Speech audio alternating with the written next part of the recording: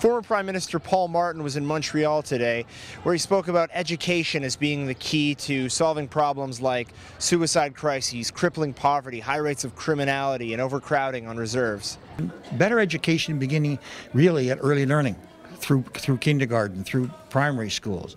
Um, it is better health care uh, which is simply not available on so many so many of the northern northern communities. It's better child welfare. I mean, take going in and for instance in terms of child welfare and taking you know a five, six, or seven year old away from their family, eh, but not just simply putting them into something nearby, but to take them you know two, three hundred miles away and leaving them in hotels. Naturally, you're going to have that kind of problem.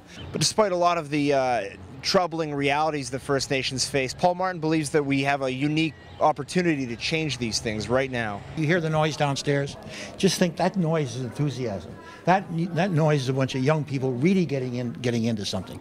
Now, sit, just think. You can you can do this online. You can do it.